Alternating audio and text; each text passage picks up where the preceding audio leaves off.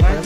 Mm. সৰু পথাৰ অসম নাগালেণ্ড সীমান্তৰ তেওঁলোকেতো তেনেকে ডিমাণ্ড কৰিব নোৱাৰে। অসমীয়া কৃষক আৰু তাত বৰ্ডাৰ এৰিয়াটো ডিছপিউটেড এৰিয়া হয় আৰু তাত কিবা এটা হ'বলৈ হ'লে তাত দুটা ষ্টেট বা ইণ্টাৰ ষ্টেট সেইবিলাক চেণ্ট্ৰেল মানে আমাৰ গভৰ্ণমেণ্টেও ইয়াতে ইণ্টাৰভিউ কৰি পেলাই এটা সকাহ দিব লাগিব ইয়াত আমাৰ এই প্ৰহৰী হিচাপে আমাৰ অসমীয়া ৰাইজ তাতে আমাৰ আদিবাসী ৰাইজসকল তাত আছে।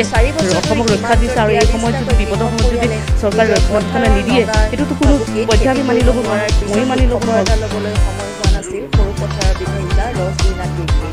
অৱশেষত মঙলবাৰে সৰু পথাৰ উন্নয়ন খণ্ডৰ আই বিত এক এতিয়াতো আপোনালোকৰ মাধ্যমৰ যোগেদি আঠশ বিঘা বুলি মই গম পাইছোঁ আপোনালোকে গৈছে তাতে। আৰু নিশ্চয় তাতে আমি এতিয়া মই আমাৰ পি এমৰ লগতো আলোচনা কৰিছোঁ তেখেতক কৈছোঁ ভালকৈ আপোনালোকে আনক কাৰণ তেওঁলোকেও ক্লেইম কৰে আমাৰ অসমৰ ফালেও আছে সেইকাৰণে ডিছপিউটেড এৰিয়াটো আছে।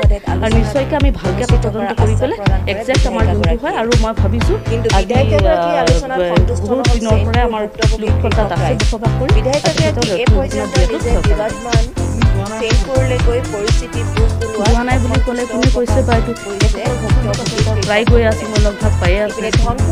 কিয় নাই এটা ৰাস্তাটো যে বনি আছে সেই ৰাস্তাবিলাক চাবলৈ কাৰণে মই যোৱা নাই আমাৰ লকডাউনত মানুহবিলাক আছে আপোনালোকৰ আগন্তুক সময়ত গ'লে মই আপোনালোকক লৈ যাম।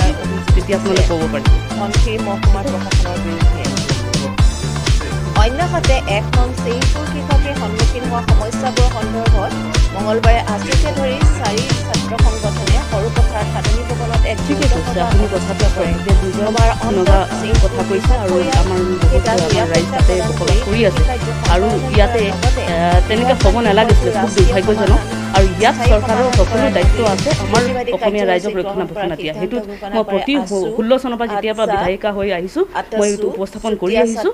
কিন্তু এইটো মানে এতিয়া সকলো ৰাইজক সেইকাৰণে লগ ভাগ পাই পেলাই আলোচনা কৰিম যে কি ধৰণে আৰু তেওঁলোকে বিচাৰে তেওঁলোকৰ কি মত সেইবিলাক কৰি পেলাই ভালকৈ আলোচনা কৰি আকৌ আমি পুনৰ দাবী কৰিম আৰু যাবলৈ হ'লে আমি নিশ্চয় আকৌ মুখ্যমন্ত্ৰীৰ ওচৰত যাম আৰু ইয়াৰ প্ৰকৃত এটা মানে আমাৰ ফলাফল লাগিব বুলি আমি কৰি আছোঁ আৰু আগন্তুক সময়ত কৰিম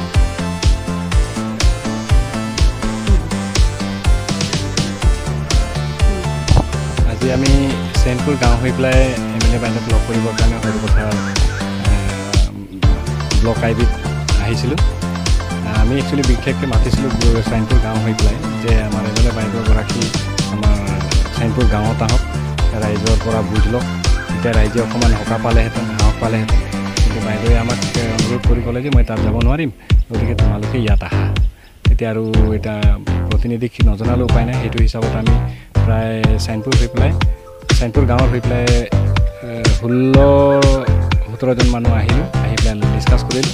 আৰু ডিছকাশ্যনত বাইদেউক আমি জনালোঁ আমাৰ সমস্যাখিনি যে প্ৰতিনিধিৰ কমজুৰিৰ খাতিৰত আমাৰ যিবিলাক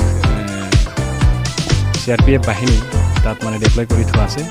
সিহঁতি মানে নিজৰ ইচ্ছামতে কিছুমান কাম কৰিব লয় গতিকে আমি হ'ব লাগিব আৰু আমাৰ এতিয়া খেতিয়ক মানুহ গতিকে গোটেই চাইনপুৰবাসীক যদি খেতি কৰিবলৈ সুবিধা দিয়া নহয় তিনি বছৰটো খেতি কৰিব নোৱাৰিলেই আৰু এই বছৰে যদি কৰিব পৰা কিবা ব্যৱস্থা যদি আপুনি সোনকালে নকৰে তেতিয়াহ'লে একেবাৰে অসুবিধাত পৰি যায় তেনেকৈ কোৱাত বাইদেউ কৈছে ঠিক আছে মই যিমান পাৰিম অসম চৰকাৰকে জনাই আছোঁ চি এম মই এই কথাটো জনাইছোঁ আৰু ইমিডিয়েটলি উইদিন শ্বৰ্ট টাইম দুই তিনি চাৰিদিনৰ ভিতৰত মই ডি চি লেভেলত মিটিং এটা আপোনালোকে তাতে প্ৰতিনিধি হিচাপে আপোনালোকে আহক লেভেলত ডিছকাছ কৰোঁ তাৰপিছত আমি কেনেকৈ কি কৰিব পাৰিম সেই বিষয়ে আমাক বাইদেউ জনাইছে আৰু আমি বিচাৰিছিলোঁ বাইদেউ যদি ইয়াত অলপ ইণ্টাৰফিয়াৰ কৰা হ'লে চাগে বা প্ৰতিনিধি হিচাপে অকণমান ষ্ট্ৰং হৈ দিয়া হ'লে কিজানি দুই হাজাৰ চৈধ্যৰ যিটো ডিচিশ্যন যে যিবিলাকে আগত দিছিলে যে আগত যেনেকুৱা আছিলে তেনেকুৱা হিচাপত যদি প্ৰেছাৰ অকণমান দিয়া হ'লে চাগে এই সমস্যাখন আজি নোলালেহেঁতেন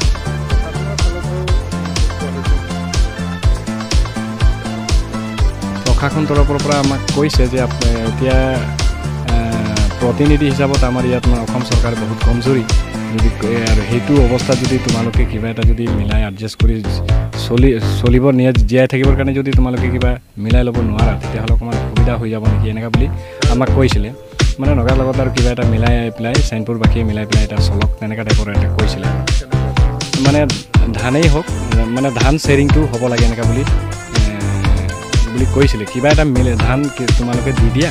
আৰু তাৰপিছত নগাৰ লগত মিলাই চল চলি থাকে। যেতিয়ালৈকে চুপ্ৰিম কোৰ্টৰ কোৰ্টৰ পৰা বৰ্ডাৰ ফাইচলাটো নহয় তেতিয়ালৈকে তোমালোকে কিবা এটা দি হ'লেও মিলি তাত থাকা। এনেকুৱা বুলি ছাজেশ্যন এইটো আমাৰ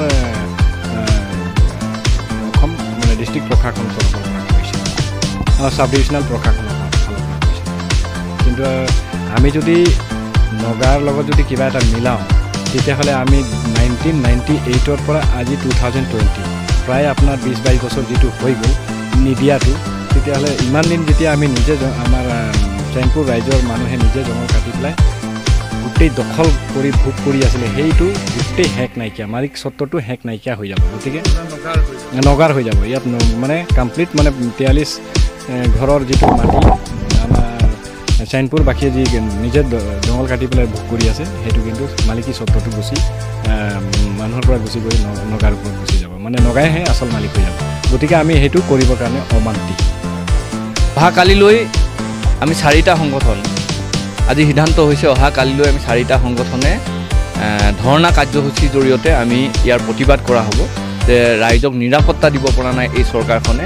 ৰাইজৰ মাটি ভেটিৰ কথা কৈ যিখন চৰকাৰে শাসনৰ বাগজৰি হাতত ল'লে তাৰ পাছত মাটি এতিয়া নগাই অধিগ্ৰহণ কৰাৰ পাছত যেনেধৰণে ৰাইজক নিৰাপত্তা দিব লাগিছিল নিৰাপত্তা নিদিয়াৰ কাৰণে তাৰ বিৰুদ্ধে অহাকালি কাৰ্যসূচী ৰূপায়ণ কৰা হ'ব জনপ্ৰতিনিধিগৰাকীৰ দায়িত্ব আছিল সীমান্তবাসী ৰাইজৰ জীৱন আৰু সম্পত্তি নিৰাপত্তা কৰাৰ মুহূৰ্তত তেওঁলোকে আচলতে তাত এজন অত্যন্ত প্ৰহৰীৰ নিচিনাকৈ গৈ তেওঁ তেওঁলোকৰ লগতেই আছোঁ ৰাইজৰ লগত মই আছোঁ বুলি কথাষাৰ ক'ব পৰাকৈ সাহসী হ'ব লাগিছিল। সেই সাহসটো নথকাৰ কাৰণে জনপ্ৰতিনিধিৰ এই দুৰ্বল চৰিত্ৰৰ কাৰণে আচলতে নগাই সাহস পাইছে।